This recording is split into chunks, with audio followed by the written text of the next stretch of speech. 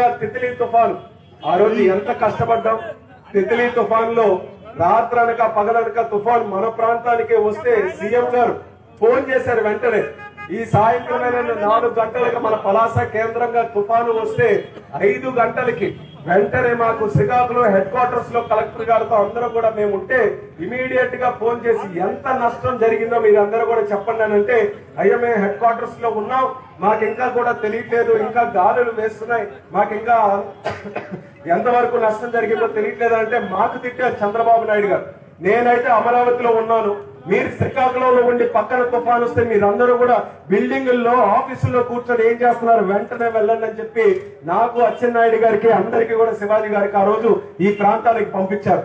సాయంత్రం ఏడు గంటలకు వర్షం ఆగిందని మేము బయలుదేరితే హైవే అంతా కూడా చెట్లు పడిపోయి మాకు రావడానికి అవకాశం లేకుండా అయిపోయింది. రాత్రంతా క్లియర్ చేసుకొని తెక్కలు పోలీస్ స్టేషన్లో ఉన్నాం. క్లియర్ చేసుకొని మళ్ళీ పొద్దు పొద్దునే మేము అందరం కూడా వచ్చాం. అంటే ఎంత పగడ్బందీగా ఆ రోజు మానిటరింగ్ చేశారో? మేము అన్నాం ఆ రోజు సార్ మేము అందరం ఉన్నాం. ఒక మంత్రి ఉన్నాడు ఎంపీగా ఉన్నాం. ఎమ్మెల్యేలు చాలా మంది ఉన్నారు. మేమందరం కూడా తిరుగుతాం. మీకు నీట్గా అసెస్మెంట్ ఇస్తాం. ఎంత నష్టం జరిగిందో మేము చెప్తామనంటే సాయంత్రం వేళకే మళ్ళీ చంద్రబాబు నాయుడు గారు హెలికాప్టర్ వేసుకొని శ్రీకాకుళం జిల్లా వచ్చి మీ వల్ల కాదు ముఖ్యమంత్రిగా నేను చేస్తానని చెప్పి పలాసకే వచ్చి ఉండడానికి కూడా సరిగ్గా రూమ్ లేదు కరెంటు లేదు ఏమీ లేకపోయినా బస్సులోనే ఏడు రోజులు ఉండి ఆఖరికి ఆ రోజు దసరా వచ్చినా సరే దసరా కూడా మనతోనే జరుపుకున్నటువంటి మహానుభావుడు చంద్రబాబు నాయుడు గారు గుర్తు చేస్తున్నారు అంత చక్కగా చేసి అందరికీ కూడా ఆ రోజు ఉన్నటువంటి మేరకు ఎన్నో లిస్టులు తయారు చేసి అందరికీ కూడా పంచాం. కానీ జగన్మోహన్ రెడ్డి గారు ఏం చేస్తున్నారు? మన పక్క జిల్లాలో ఉన్నాడు కదా. చంద్రబాబు నాయుడు గారు ఎక్కడో అమరావతిలో ఉంటే అధికారుల్ని మంత్రుల్ని అందరినీ వేసుకొని వచ్చి ఇక్కడ అంతా పనిచేశారే. ఒక్క అడుగు వేసి రావచ్చు కదా అధికారంలో లేకపోయినా ప్రతిపక్ష నాయకుడి కింద బాధ్యత ఉంది కదా ఆయనకి? ఇక్కడే పక్కన విజయనగరంలో ఉన్నాడు కదా? పోనీ పాదయాత్ర చేస్తుంటే ఎక్కడ బ్రేక్ తీసుకోవట్లేదు? నేను ఎక్కడ నుండి వెళ్తే నాకు అశుభం జరుగుతుందనంటే ప్రతి శుక్రవారం కోర్టుకి వెళ్ళి జైలుకి వెళ్ళి అక్కడ సంతకం పెట్టే కదా మళ్ళీ పాదయాత్రకు వస్తున్నాడు. మరి జైలుకి వెళ్ళి అక్కడ సంతకం పెట్టి వస్తున్నటువంటి జగన్మోహన్ రెడ్డి గారికి.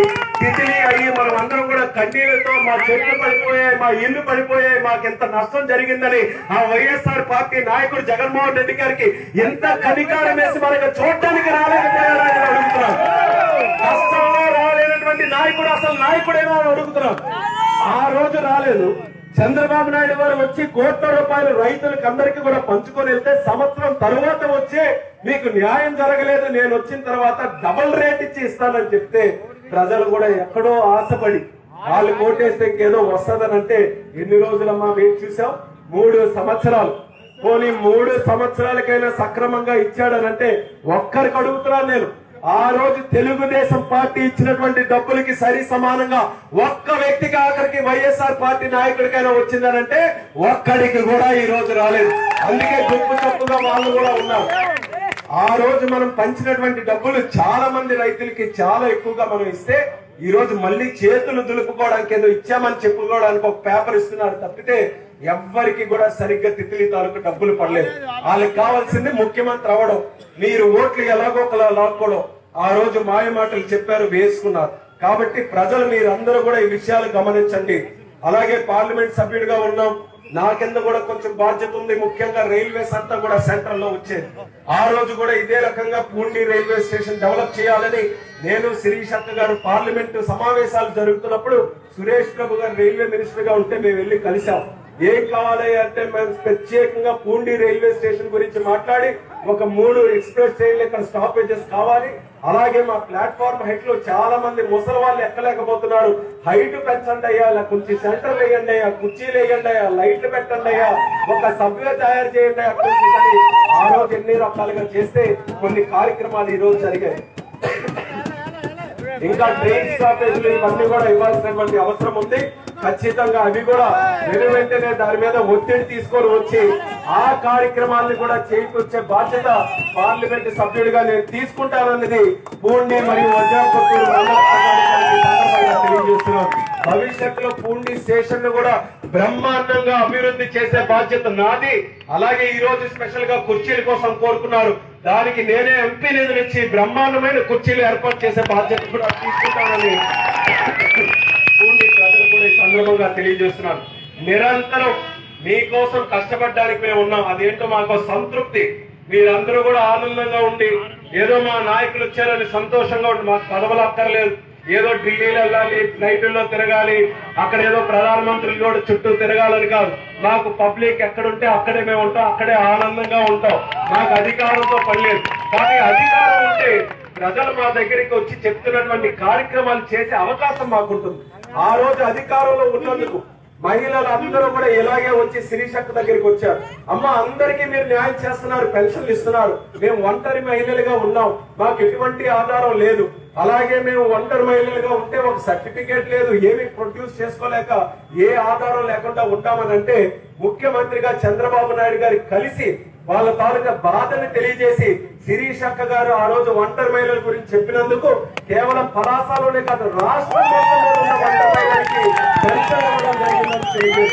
ఎలా చేయగలిగాం? అధికారం ఉందనే కదా. ఈ రోజు అయితే పోరాటం చేయగలం కానీ ఒక రోడ్డు వేయాలన్నా మీరు ఏమైనా చెప్పినటువంటి కార్యక్రమాలు చేయాలనంటే అధికారం ఉంటేనే కదా. అటువంటి అధికారం మంచి వ్యక్తుల చేతుల్లో పెట్టమని మీ అందరికీ తెలియజేస్తున్నాం. అసలు ఏం ఆలోచించి పెట్టారో నాకంతా ఇంతవరకు కూడా అర్థం కావట్లేదు. జగన్మోహన్ రెడ్డి గారు. జగన్మోహన్ రెడ్డి గారు ఎంత దుర్మార్గులనంటే నలభై రెండు వేల కోట్లు దొంగిలించారని చెప్పి పదమూడు సిబిఐ కేసులు ఆయన మీద ఉంది. ఒకటి ప్రథమ ముద్దాయిగా ఆయన ఉన్నాడు. అన్ని నెలలు పదహారు నెలలు జైల్లో ఉన్నాడు. ఏ మీ షాప్ ఎవరైనా తాళలేసో దొంగ చేతికి ఇచ్చి పది రోజులు ఊరు బయటికి వెళ్తాను చూసుకోవాలి ఆ ధైర్యం ఎవరికైనా ఉందా? మీరు పది రోజులు మీ దానానికి చెప్తే శాంతం ఖాళీ చేసి మీరు వచ్చినప్పటికీ దూరబంధాలు తప్పితే ఏమీ లేకుండా మొత్తం లాగేస్తాడు మరి అటువంటిది ఆయన తండ్రి ముఖ్యమంత్రిగా ఉన్నప్పుడు నలభై రెండు వేల కోట్ల రూపాయలు కాజేశాడని రికార్డులో. అంటే నాట్ రికార్డెడ్గా ఇంకా లక్ష కోట్లు ఇంకెన్నో ఉన్నాయి. పోనీ గవర్నమెంట్ రికార్డ్ చేసిందే నలభై రెండు వేల కోట్లు. దానికోసం జైలు కూడా వెళ్ళాడు. మరి అంతా చేసిన తర్వాత కూడా ప్రజలు ఆయన పాదయాత్ర చేస్తున్నాడు ముద్దులు పెడుతున్నాడని ఆయన దొంగ చరిత్ర మర్చిపోయి మీరు వేసిన తర్వాత దొంగ దొంగ బుద్ధి పోతుందా? మళ్ళీ ఆ బుద్ధితోనే ఈ రోజు పరిపాలన చేసి ఇసుక ఇసుక మీద దోపిడీ మందు మీద దోపిడీ ఇవన్నీ కూడా జరుగుతున్నాయి. కాబట్టి రాష్ట్రం ఎవరి చేతుల్లో పెట్టాలన్న ఆలోచన విజ్ఞతతో ప్రజలందరూ కూడా ఆలోచించండి. ఆ రోజు ఏదో మాయమాటలు చెప్తున్నారని ముఖ్యంగా యువకులు కూడా సోషల్ మీడియాలో చూసి అది నిజమో అబద్ధమో తెలియకుండా చాలా మంది ఇన్ఫ్లుయెన్స్ అవుతున్నారు. సోషల్ మీడియాలో కూడా వ్యక్తులు మీరందరూ చూసేటటువంటి కథనాలు. ఒక్కసారి వాస్తవం ఎంత ఉన్నాయో కూడా మీరందరూ కూడా తెలుసుకోండి. ఆ రోజు బ్రహ్మాండంగా అమరావతి డెవలప్ చేస్తున్నామని ఒక పక్కన అడుగులేస్తుంటే కేవలం ఒకే ఒక మాట అన్నారు. గ్రాఫిక్స్ గ్రాఫిక్స్ గ్రాఫిక్స్ అని. ఈ రోజు గ్రాఫిక్స్ అని మాటతో యువత అందరూ కూడా వ్యతిరేకంగా తెలుగుదేశం పార్టీకి ఓట్లేశారు. ఈ రోజు రాజధాని లేకుండా అయిపోయింది. పోలవరం ఎంత మంచి ప్రాజెక్టు డెబ్బై ఒకటి శాతం పూర్తి చేశాం. ఈ వైఎస్ఆర్ పార్టీ వాళ్ళే చెప్పారు చంద్రబాబు నాయుడు గారి టైంలో డెబ్బై ఒకటి శాతం పూర్తి చేశాం. వీళ్ళ శాతంలో వన్ పర్సెంట్ టూ పర్సెంట్ అని అంటే ఆ రోజు అసెంబ్లీలో కూడా ఒక వ్యక్తి అడిగాడు ఎవరికి? నోట్ నోరు పారుదల మంత్రికి. నీటి పారుదల కాదు నోటు పారుదల మంత్రి ఉంటే ఆ రోజు ఆయనకి అడిగారు. ఆయనకి అడిగితే మీకెందుకయ్యా? వన్ పర్సెంట్ టూ పర్సెంట్ ప్రజల సమస్యల గురించి ఆయన దాటితే అంత వెటకారంగా వ్యంగ్యంగా వాళ్ళందరూ కూడా మాట్లాడుతున్నారు. ఇంకా బూతులపురం ఎప్పుడైనా చూసారా ఒక ఎమ్మెల్యేగా ఉన్న వ్యక్తి మంత్రిగా ఉన్నటువంటి వ్యక్తి మనం ఇంటిలోనే ఒక ఆడపిల్ల ఎవరైనా తిరుగుతుంటే మనం నోరు అదుపులో పెట్టుకొని జాగ్రత్తగా మాట్లాడతామే. ఒక అసెంబ్లీలో రాష్ట్రం మొత్తం దేశం ప్రపంచం చూస్తున్నటువంటి అసెంబ్లీలో కూడా మంత్రులు అత్యంత నీచంగా ఎంత దారుణమైనటువంటి పదజాలంతో మాట్లాడుతున్నారు అంటే ప్రజలకు మనకి ఏమైనా బిగ్ బాస్ షో చూస్తున్నామా అదంతా కూడా? మన రాష్ట్ర అసెంబ్లీ అది. మనకి ఎంత అవమానం కలుగుతుంది?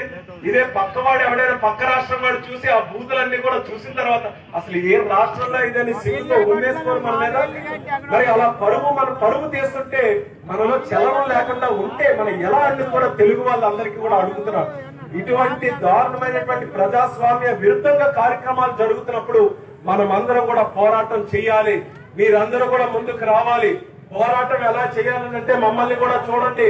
ఐదు వందల నలభై మూడు మంది ఎంపీల్లో ముగ్గురు మేము ఉన్నాం. ఎక్కడైనా భయపడుతున్నామా మేము? రంగు వేసుకున్నటువంటి వ్యక్తులు. నేను గల్లా జయదేవ్ గారు కేసీఆర్ నాని గారు.